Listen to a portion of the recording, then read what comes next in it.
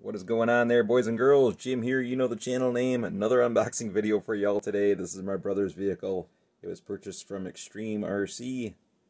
Xtreem RC. And I believe this is pronounced Wyna. This is the model 1582. 114th scale. Supposedly metal cab and metal tipper on the truck. But we'll find that out when we get her open. Looks like we have clear windows, a driver's seat, hopefully a dashboard and some other nonsense in there. Once again, we'll see that when we get her open. Nothing on this half of the box. Nothing on the other half of the box. Nothing on top of the box. A little bit of damage right there. Spinning around to the back half. Got a picture of the transmitter, picture of the truck. Professional RC dump truck model with 10 functions. Zooming in on the transmitter, not much to see here. Looks like our trim buttons down yonder, sound switch, light switch. Another peek at the truck. Remote control, 2.4 gigahertz frequency, simulate real manipulation, simulate real driving, realistic lights, realistic sound. Fully controllable, forward, backwards, left, right. Fully controllable hopper, up and down. High capacity battery included, realistic lights and sound, large scale of 1 14th. Cool looking background. It Looks like they're building a bridge in the background there. Nice box art. Looking at the bottom of the box, the last place with any kind of writing on the box. Caution, this product is not a toy. This is not intended for use by year 14 children, kids under the age of 14. For your safety, please read the manual carefully and thoroughly before operating this product. Specifications and colors of contents may vary from photo, includes user guide. Blah, blah, blah. Huina model number 1582, made in China. All the best toys are.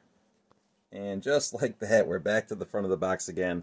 Let's get a knife out, bust this baby open, and see what she looks like firsthand. Hey, go ahead there, E. Crack her on open. Alright. Once again, my brother's dump truck. He owns the legendary Buckster loader, the Hoyna Wyna 1593 excavator, and now this 1582 dump truck.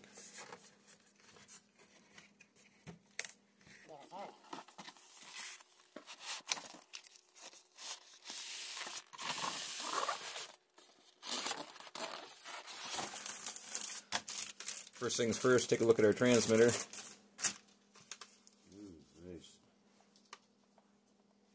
Taking a look at our transmitter. Not too shabby. Nice satiny feel to it. We have our steering trim buttons right down here. Lights, sound. All these trim settings are false. Nothing going on with those guys. Two false buttons up on the top of the transmitter. Left stick, forward, reverse. Looks like a four channel, but it's got a gate in there so you can't move it from left to right. Right stick, we've got our steering left to right, but it also moves up and down. So I'm assuming that raises and lowers the box on the truck. And it appears to run on four AA batteries. Alright man, go ahead and grab whatever you want to grab out of there next. He's going for the battery. He's going for the battery. This is kind of what I was curious about, whether this was a 4 volt or a 7.4 volt. 7.4. 7.4. Now, see, that's interesting. This was ordered from Xtreem RC. Gary Cheevers, if you're watching this, brother, on Xtreem RC, you guys need to change that in your website. It says on the description that it runs on a 4 volt battery.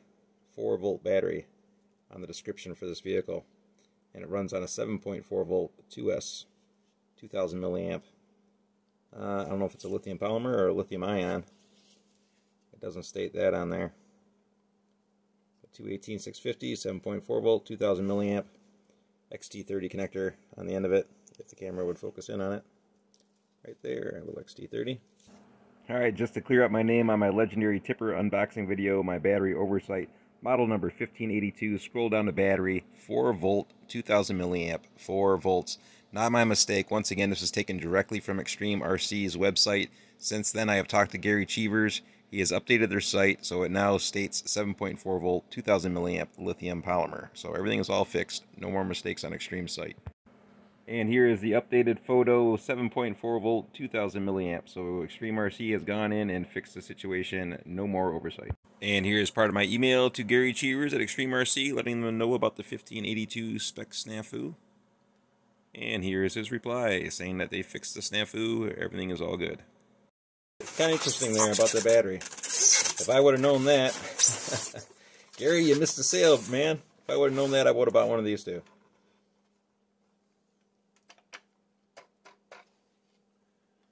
Alright, nice looking truck. Yeah. Alright, what's metal, what's plastic? Metal cab, clear windows, metal box, plastic gas tank, plastic chassis, plastic fender wells, metal gate, metal linkage, metal rods, rubber mirrors, not adjustable or anything like that. Pretty heavy. You feel that right off the bat. Taking a look at the back of the truck. All metal. If we look on the inside of our tailgate here, excuse the angles, nice and smooth. So no snag points for stuff to get hung up on as it's getting dumped out of the back of the truck. Good looking vehicle. Cross bracing on the tailgate back there. Gussets. Once again, metal links. Once again, metal links going to the tailgate. A couple orbs flying by. Plasticky rubbery tires, our fender wells, little plastic air tanks, plastic battery box, hydraulic tank, reservoir, our lift cylinder for the box. Taking a peek inside the cab. That is cool. Little dashboard in there, steering wheel on the other side. Two bucket seats. Little glove box there on that side we can barely focus in on. Air filter up on top. Little sunroof, blacked out.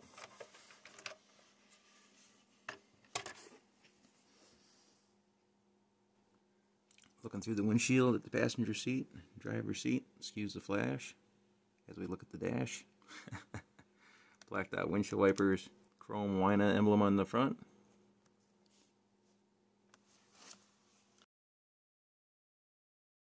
Trying to get a look in here on the driver's side. Sorry about the glare. If I turn off my flash, we just can't see anything at all. It does have a bucket seat there, the steering wheel. And a little bit of a dashboard going on in there.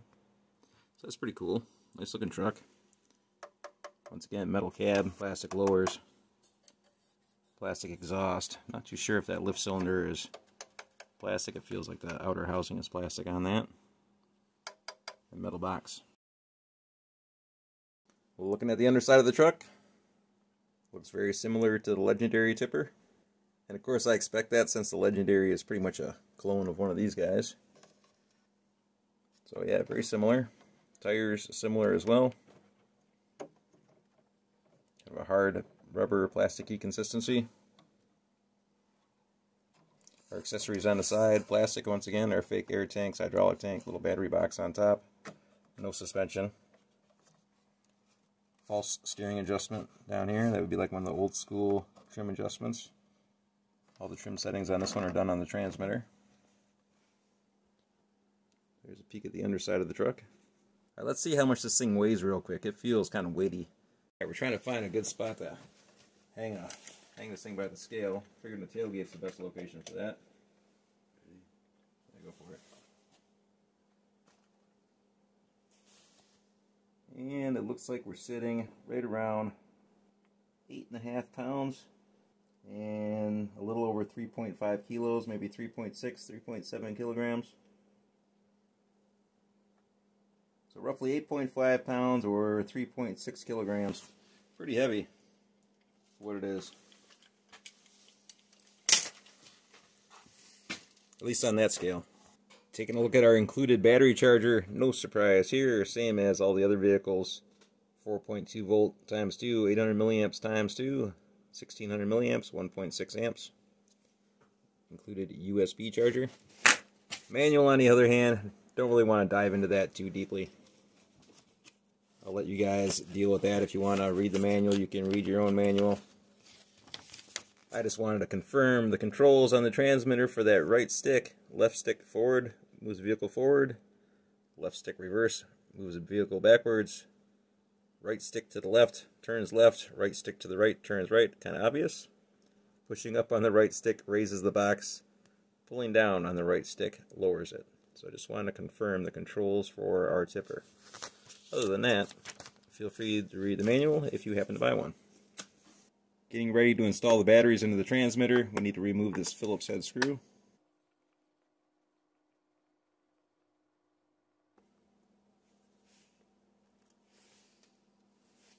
Pardon my sleeve. Little tab here on the transmitter. Need to push this in and lift up. That exposes our battery tray. Requires four AA batteries, install in the correct direction, negative to negative and positive to positive.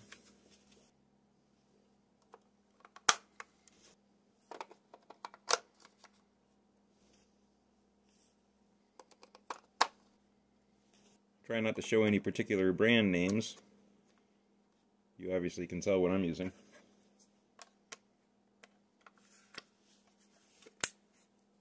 Cover installed, and we're not going to reinstall our screw. Not on the transmitter. I'm going to put the screw off to the side in the magnetic tool tray and throw that into another parts bag.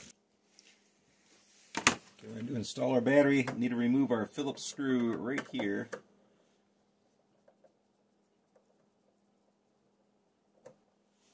I might need a little flat blade screwdriver to assist in this process a little bit here.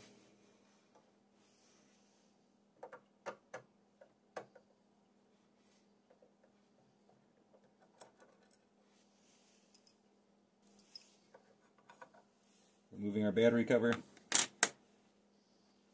Little XT30 connector on the inside here. Now I wasn't going to do any measurements on this truck as far as overall length and wheelbase and all that other good nonsense because it's pretty much identical to the legendary tipper truck that I just did the unboxing on. So if you want to see lengths and things of that nature, you can check that video out. On the legendary tipper, we can barely fit one of these batteries inside here. Pretty much the same outer dimensions on the tray, just not the same depth on the tray. We can get an 18650 pack inside the legendary tipper, just not enough room to get the tray uh, fully secured on it. It's just, just a little bit uh, tight in there. This one, plenty of room on the inside of here. Alright, getting ready to install our battery, little XT30 connector here. Nice little connector, really. Wow. Plenty of room on the inside of here. Probably can get two 18650s on top of each other. Might be able to get a 2S shorty pack in there. All kinds of room inside there. Might need to put some foam in here just to kind of keep this stuff from rattling around. Normally I would install our Phillips screw back in here, but just for the sake of video, I'm not going to reinstall it because I'm going to be unplugging this battery as soon as we finish. Whenever I get done using any of my vehicles, I always come back in and remove the batteries, disconnect them, take them out of the vehicle, and store them in a LipoSafe storage bag. There is our on-off switch. We'll set this baby on the ground, get it all fired up, and see what she's all about. Turn our vehicle on. Turn our transmitter on. And our vehicle is running. Sound button over here, light button over here. Let's see how she sounds.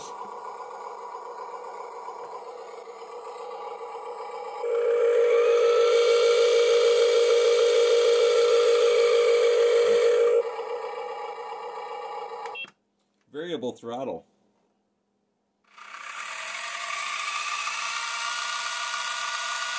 Not very fast. Variable throttle though. That's nice. Steering.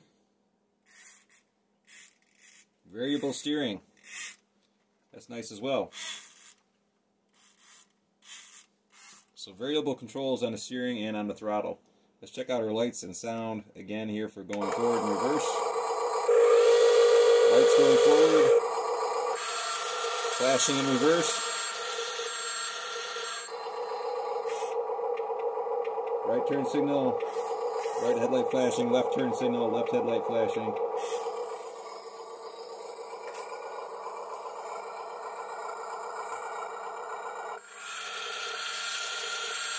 Flashing in reverse. Illuminated forward. Right turn, left turn. Shut off our sound. Lights, shut those off. Do we still get backups? Oh, the lights are off and the lights are off, so that's cool. Heavy. Checking out our tipper. Should be up to go up and down to go down.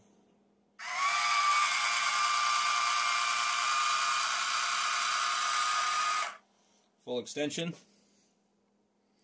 Not too bad. Little sloppy right there on full extension with our cylinder. Looks a little bit blown out there. I'd imagine if that was real life, it would be just gushing hydraulic oil everywhere. How this works exactly, the bed is being raised and lowered via these two links right here. And down on the inside, there's a geared motor, I assume, with a big steel wheel on there, or mounted to it, or a disc mounted to it. I explained this in a previous video as well. Similar to this, like a piston on a crankshaft. Your links are hooked up to the end of the wheel like that. When the wheel rotates, the links drop down. As it continues to rotate, it lifts back up. So it's like a piston on a crankshaft. And that's exactly how that's working. So if you keep holding it in the same direction, it's going to continuously go up and down.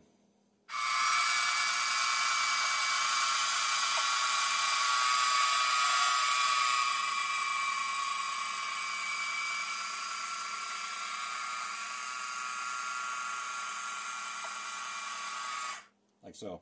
Let's see how it sounds in motion with the tipper.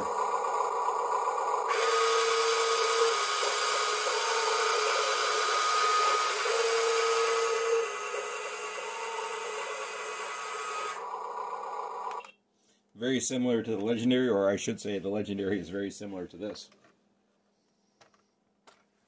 Tailgate is all mechanically operated. Little linkage here going to the gate that comes down to our outer fenders. Linkage doesn't move. Gate doesn't necessarily move. When you start to raise the box up, the box tilts up, and that just kind of automatically hinges things.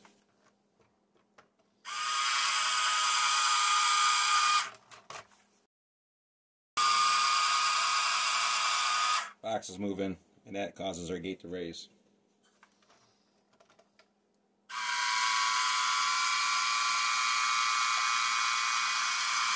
Love the tailgate back here, all metal. I love the gusseting that they have, the supports going around the edges there. They probably stick up about a sixteenth of an inch. It looks very solid. And smooth on the inside as well, so no snags when you're dumping stuff back out. Very nice truck all in all. I love the metal cab the metal box on the back. Love that tailgate once again. Love the fact that we can see inside the cab, dual bucket seats on the inside, full dashboard, steering wheel, whole nine yards. Awesome vehicle, all in all. Only thing that would be better if the doors actually opened up on it. That would be pretty cool. Otherwise, awesome vehicle. Let's get the Legendary Tipper, put it up next to it. Pretty sure, once again, that the Legendary Tipper is, you know, kind of a direct ripoff of this guy. Not to be showing off the Legendary Tipper, this video is all about this vehicle. But they're pretty much the exact same size, same tires all the way around, same wheels, and all that other nonsense. Checking some differences here. Very loud sound on the legendary trucks. Want to see if the steering is proportional.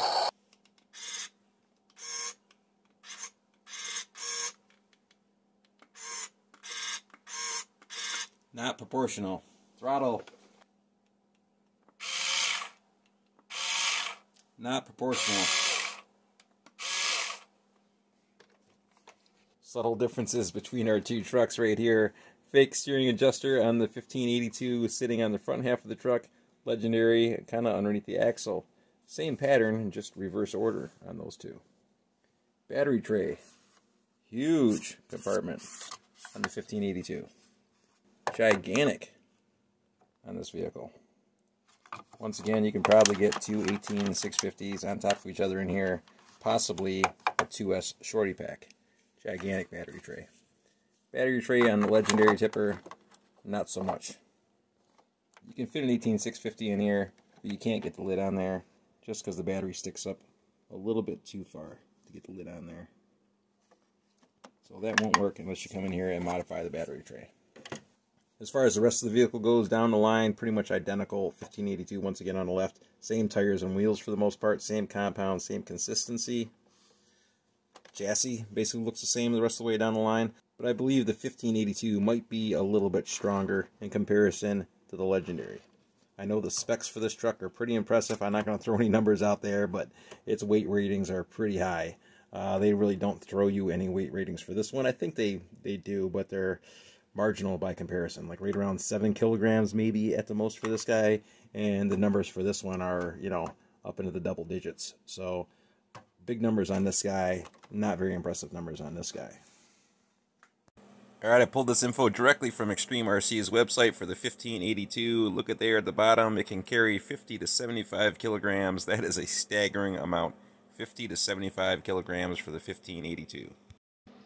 And look at that, I just found another mistake on Xtreem's website. Look at the controller batteries, it says it requires 3 AA batteries, and we know that it requires 4 AA batteries. Another mistake. Looking at them head to head, nose to nose, pretty much the same. Legendary not looking too bad relatively basic. Blacked out windows on the cab. Eh, you know, pros and cons. You don't have to put a driver in there. Uh, that's a pro. a con, you can't see inside the cab. Huina 1582. Nice. We can see right inside the cab with our clear window on the front. Chrome Huina logo on the front there. Wina, Wina. Our headlights, otherwise basically the same.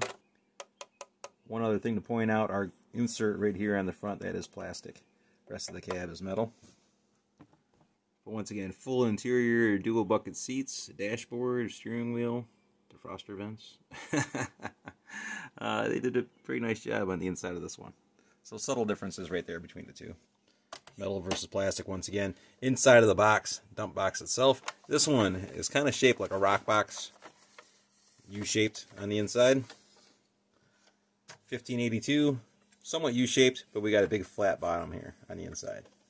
Ultimately, we can probably hold more material with this truck with the 1582. I know it can haul more material. They don't give you any weight specs in the manual, but from what I read on uh, Xtreem's website, it's uh, it can hold a staggering amount of weight. Legendary tipper box, kind of U-shaped on the inside here, like a rock box, all plastic. And the fact that it's shaped like that, and the fact that it's all plastic, means that the material will probably slide out of this truck a little bit easier than it will out of this one. Tailgate, on the other hand, we have those little plastic gussets on the inside, which are all snag points for material to get hung up on on the way out the door. 1582 on the other hand, all smooth. 1582, man, nice looking truck. No complaints on that whatsoever. No complaints on the little legendary tipper over there either, but 1582 is a very nice looking truck. One thing that I'm not liking though with this truck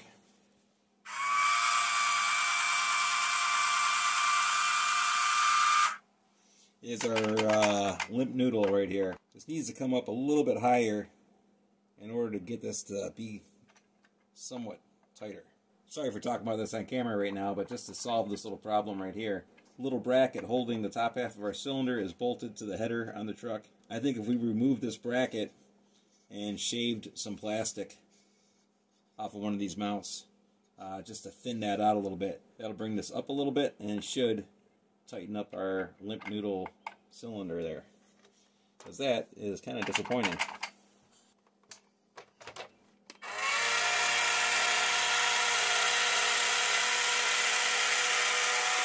This one gets to a point in its rotation where it's tight on the cylinder there. And it doesn't give you that limp noodle effect. Right there, floppy. And it gets to a certain point on its revolution where it actually tightens up right there at like the apex of its revolution, it gets somewhat tight.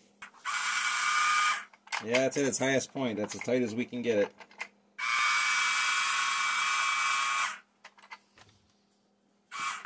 Basically, how to fix that problem would be to come in here, remove this bracket. It's bolted on in two pieces. Put it on a put it on a grinder or a sander, thin it out a little bit, and then reattach it, which will raise the cylinder up a little bit further. And then hopefully be able to take out that slop that's in there. It doesn't need to go up too far. Uh, a millimeter or two. Just to get that to tighten up a little bit. Otherwise, it's going to be floppy.